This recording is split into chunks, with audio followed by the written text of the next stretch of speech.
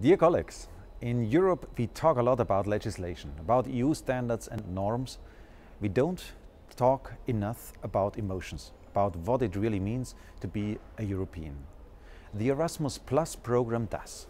Since the first students went on Erasmus, millions of European students have become friends, have fallen in love, have discovered other country languages, culture and beauty. One million Erasmus babies. This number speaks for itself.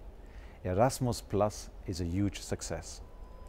I am proud that our group, the EPP, is preparing the Parliament's opinion on the future Erasmus cycle that will run from 2021 to 2027.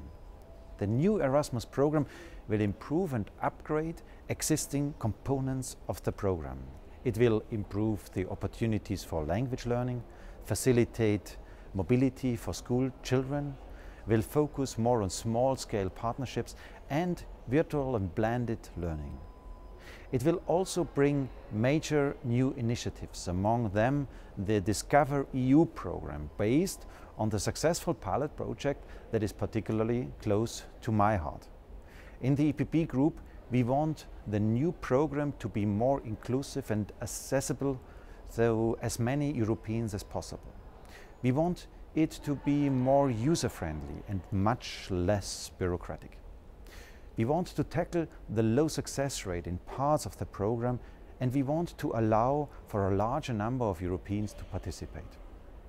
Our standing rapporteur, Milan Zver, has proposed concrete steps to achieve these goals.